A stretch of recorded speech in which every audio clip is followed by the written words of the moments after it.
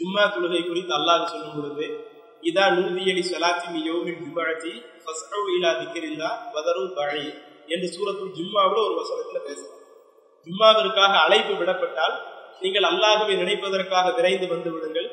வியாபார இதைவே செய்யாதீங்க என்று அல்லாஹ் சொல்றான். அதுல ஜும்மாவிற்காக அழைப்பு விடப்பட்டால் ஜும்மாவிற்குரிய அழைப்பு என்பது பாங்கு. அப்படி பாங்கு சொல்லப்பட்டால் நீங்க வியாபாரம் செய்யாதீங்க நீங்க கடைகளை எல்லாம் மூடி விட்டு என்ன செஞ்சிருங்க? அல்லாஹ் நினைப்பதற்காக வந்துருங்க அந்த வசனம் காட்டுகிறது. அதே மாதிரி அல்லாஹுடைய தூதர் சொன்னது நபிமொழியை பார்த்தோம்னா இமாம் வந்து மிம்பரில் ஏறி அமர்ந்துட்டால் அப்ப வாங்க சொல்லுவாங்க. அப்ப வந்து வானவர்கள் தங்களுடைய ஏடுகளை மூடிடுவாங்க நன்மைகள் அதற்கடுத்து பதிவு செய்ய மாட்டாங்க என்றும் ஒரு ஹதீஸ் இருக்குது.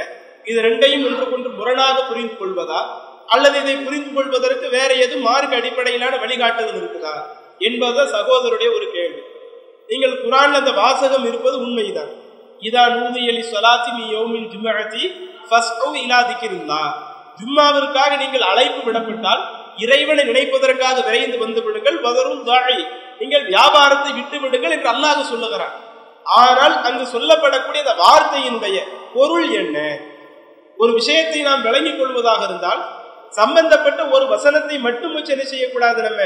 முடிவெடுக்க கூடாது இது இந்த ஜும்மாவிற்கு மட்டுமல்ல. பொதுவாக நம்ம மார்க்கத்தினுடைய சட்டத்திட்டங்கள் அனைத்திற்கும் இதுதான். இறைவன் நமக்கு ஒரு சட்டத்தை சொல்றான்னு வைங்க.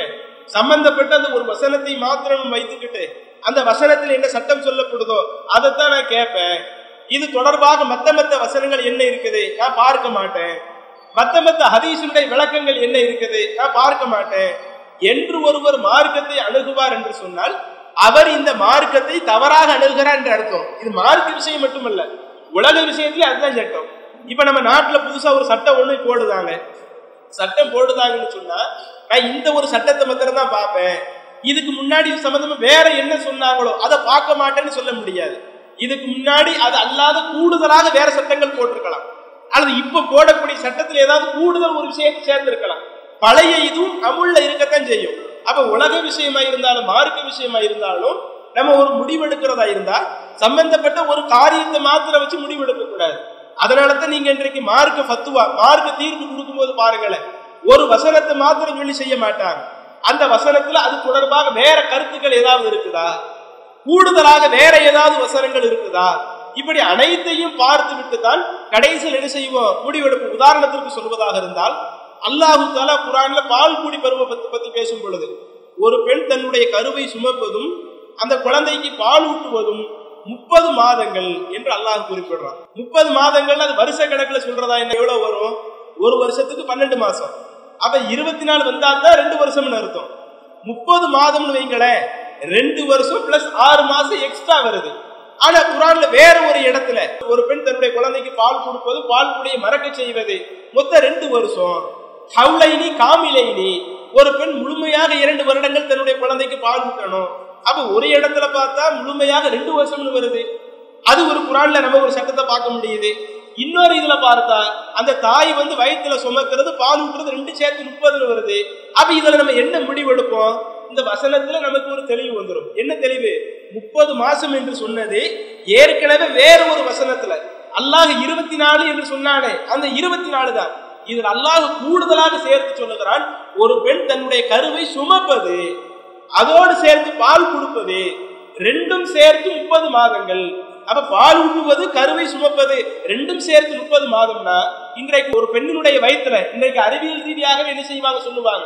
கரு முழுமையாக உருவாகி அனைவருக்கும் செய்வதற்கு கிட்டத்தட்ட நான்கு மாதங்கள் வரை வந்துடும் திரும்ப அதற்கு நான்கு மாசத்திற்கு பிறகு அந்த கருவுல பல்வேறு வளர்ச்சிகள் ஏற்படும். அப்ப இது அல்லாஹு நமக்கு அறிவுபூர்வமாக வயிற்றுல வந்து ஒரு குழந்தை கரு உருவாகிறது நாலு மாசம். அதுக்கு முன்னாடி ஆணினுடைய அளவு பெண்ணினுடைய அளவு சேர்ந்து கரு உருவானாலும் அது முழுமையாக ஒரு குழந்தை வடிவம் பெறுவதற்கு. அது நான்கு மாதங்கள் வரும் திரும்ப அந்த நாலு மாசத்துல இருந்து கூட ஒரு ஆறு மாசம். அந்த குழந்தை அந்த பெண்மணி வயிற்றுல சுமக்கிறாங்க. அதற்கு அடுத்து ரெண்டு வருஷம் பால் ஊற்றுறாங்க ரெண்டு சேர்த்து முப்பது மாசம் என்று நம்ம அந்த வசனத்தை வழங்க முடியுது. எதுக்கு சொல்ல வர்றோம்னா பொதுவாக மார்க்கத்தினுடைய சட்டம் அப்படித்தான். சம்பந்தப்பட்ட ஒரு வசனத்தை மாத்திரம் வச்சு முடிவெடுக்க முடியாது. அது தொடர்பாக இன்னவர கூடுதல் வசனங்கள் கூடுதல் ஹதீசுகள் என்ன வருது? அனைத்தையும் வச்சுதான். அங்க இதான் நூதியலி சொலாத்தி ஜும்மாவிற்காக அழைப்பு விடப்பட்டால் என்று அல்லாத ஒரு வார்த்தையை பயன்படுத்துறாங்க அந்த அழைப்பு விடப்பட்டால் என்பது அது வாங்கி சொல்வதை குறிக்குமா? அல்லது வேறு கருத்துப்பட குறிக்குமா? என்பதற்கு மற்ற விளக்கங்கள் தேவை. அதுல மற்ற விளக்கங்கள் நமக்கு என்ன காட்டுது? ஜும்மா நாள்ல வழக்குமார்களை அந்த நன்மைகளை பதிவு செய்வதற்காக. முதலாவது நேரத்துல வர்றவங்க யாரு? ரெண்டாவது நேரங்கள்ல வர்றவங்க யாரு? மூன்றாவது நேரங்கள்ல வர்றவங்க யாரு? இப்படி படிப்படியாக அந்த பள்ளிவாசலுக்கு வரக்கூடிய மக்களை அவங்களுடைய நன்மைகளை பதிவு செய்வதற்காக வானவர்கள் ஒவ்வொரு பள்ளிவாசல் இருப்பாங்க இன்னும் சகை முஸ்லிம்ல பதிவு செய்யப்பட்ட நபிமொழியில கூடுதலாக ஒரு தகவல் வருகிறது. ஒரு பள்ளி வாசல் நாலு வாசல் அஞ்சு வாசல் இருக்குதுன்னா ஒவ்வொரு வாசலிலேயும் நன்மையை பதிவு செய்வதற்காக வானவர்கள் இருப்பார்கள். அந்த வானவர்கள் எப்ப வரை நன்மை பதிவு பண்ணுவாங்க? இமாம் மிம்பரில் ஏறி அமரும் போது வாங்கி சொல்லுவாங்களே அந்த வாங்கி சொல்வதற்கு முன்பு வர அந்த வானவர்கள் உள்ள வரக்கூடிய ஆட்களை முதலாவது நேரம் இரண்டாவது நேரம் மூணாவது நேரம் இப்படி படிப்படியாக நன்மையை பதிவு செய்வார்கள். எப்பொழுது இமாம் மிம்பரில் ஏறி விட்டாரோ அங்கு வாங்கி சொல்லப்பட்டு விட்டதோ தவவு சுகுஃப நன்மையை பதிவு செய்யக்கூடிய மாணவர்கள் தங்களுடைய அந்த பதிவேடுகளை மூடி விடுவார்கள் இன்னும் அந்த பள்ளியில் அமர்ந்து அங்கு பேசப்படுகிற உரைகளை செவிதாழ்த்தி கேட்க ஆரம்பித்து விடுவார்கள். அப்ப அங்க அல்லாஹு தாலா குரான்ல சொன்னதற்கும் அல்லாஹுடைய தூதர் சொன்னதற்கும் உள்ள ஒரு வித்தியாசம் என்ன? பாங்கு சொல்லப்பட்டால் என்று சொல்லுகிறானே. பாங்கு சொல்லப்பட்டால் என்பது எப்ப அந்த பள்ளிவாசனுடைய பாங்கினுடைய ஒரு டயம் இருக்குதோ அந்த டயத்துல நீங்க உள்ள வந்துடணும் நீங்க பாங்கு சப்தத்தை கேட்ட பிறகுதான் அடைக்கணும் என்ற கருத்துப்பட இல்லை. அந்த கருத்துப்பட இறைவன் சொல்லி இருந்தால் அல்லாஹுடைய தூதர் என்ன சொல்லி இருக்க மாட்டாங்க? அந்த பாங்கு சொல்லப்பட்டால் மலக்குமார்கள் இன்னும் கொஞ்ச நேரம் என்ன பண்ணுவாங்க? அந்த செயலத்தை விரிச்சு வச்சிருப்பாங்க. நன்மைகளை பதிவு செய்வாங்க என்றுதான் இறை தூதர் சொல்லி இருப்பாங்க அப்ப அல்லாஹுடைய தூதர் அப்படி சொல்லாதது நமக்கு இதான் ஊதியலி சொலாத்தி நீங்கள் ஜும்மாவிற்காக அழைக்கப்பட்டால் இன்னும் இது இலக்கிய நயத்துல கூட சொல்லப்படும். குரான்ல சில சட்டங்கள் எல்லாம் இலக்கிய நயத்துல கூட அல்லாஹுத்தால பேசுவான். லாபஸ்டுமுன் நிசா அந்த பள்ளி வாசலுக்கு வந்து ஒருவர் வர்றதா இருந்தால் கண்டிப்பா உழு செஞ்சுட்டு வரணும். அதே மாதிரி குளிப்பு கடமையானவங்களாக இருந்தால் குளிச்சு விட்டு தான் பள்ளி வாசலுக்கு வரணும். அதுல தாம்பத்தியம் என்ற அந்த வார்த்தையை அல்லாஹ் பயன்படுத்துவதற்கு மனைவியோடு ஒருவர் தாம்பத்தியத்தில் ஈடுபட்டால் என்ற வார்த்தை அல்லாஹ் சொல்லல. லாபஸ்துமுன் நிசா நீங்கள் உங்களுடைய மனைவியை தீண்டினால். சில நேரங்களில் இப்படி இலக்கியமாக சொல்லப்படக்கூடிய வார்த்தை அதில் நேரடிய மனைவி போய் தொட்டா என்ற அர்த்தம் கிடையாது. அங்கு தாம்பத்திய வாழ்க்கையில் ஈடுபட்டால் என்று அர்த்தம். அப்ப இந்த குரான் இது இலக்கிய நடையில சொல்லப்படுதா? அல்லது இந்த வசனத்தில் சொல்லப்படக்கூடிய முழுமையான கருத்து என்ன என்று நாம் அறிந்து கொள்வதாக இருந்தால் சம்பந்தப்பட்ட அந்த ஒரு வசனத்தை மட்டும் வச்சு நம்ம முடிவெடுக்க கூடாது. அது தொடர்பாக வரக்கூடிய ஏனைய நபிமொழிகள் அனைத்தையும் வச்சு. அதனால தான் அல்லாஹுடைய தூதர் என்ன பண்றாங்க? பல நேரங்கள்ல ஜும்மாவினுடைய அந்த நன்மைகளை பற்றி சொல்லும் பொழுது இது சம்பந்தப்பட்ட இந்த ஒரு ஹதீஸ் மட்டுமல்ல இது அல்லாத அனைத்து ஹதீசுகளை சொல்லும் பொழுது அந்த ஜும்மாவினுடைய பரிபூர்ண நன்மை ஒருவருக்கு கிடைக்கிறதா இருந்தா நீங்க வந்து அங்கு ஜும்மாவினுடைய பாங்கு சொல்லப்படுறதுக்கு முன்னாடி ஜும்மானுடைய பாங்கு என்பது இன்னைக்கு நம்ம இடங்கள்ல சில பள்ளிவாசல்ல ரெண்டு பாங்கெல்லாம் சொல்லுவார்கள். ரெண்டு பாங்கு சொல்ல சொல்லலாம் மார்க்கத்துல இல்ல. இமாம் மிம்பர்ல ஏறும்போது சொல்லப்படக்கூடிய அந்த ஒரு பாங்கு தான் ஜும்மாவினுடைய பாங்கு. அந்த ஜும்மாவினுடைய பாங்கு சொல்லும் பொழுது நீங்க எல்லாரும் பள்ளி வாசல்ல ஆஜராகி இருக்கணும். அந்த நேரத்தில் நீங்க வியாபாரம் பார்த்துக்கிட்டு இருக்காதீங்க. என்பதைத்தான் அல்லாஹ் எப்படி சொல்லுகிறான். ஜும்மாவிற்காக அழைப்பு விடப்பட்டால் அல்லாஹுவை நினைக்க வாழ்ந்துருங்க என்று சொல்லுவது அந்த ஜும்மாவிற்காக அழைப்பு விடக்கூடிய அந்த நேரத்தில் நீங்கள் பள்ளி வாசல்ல இருக்கணும். உதாரணத்திற்கு ஒரு பன்னெண்டு ஐம்பதுக்கு ஜும்மான்னு வைங்க. நமக்கும் பள்ளி வாசலுக்கும் ரொம்ப பக்கமா இருந்துச்சுல.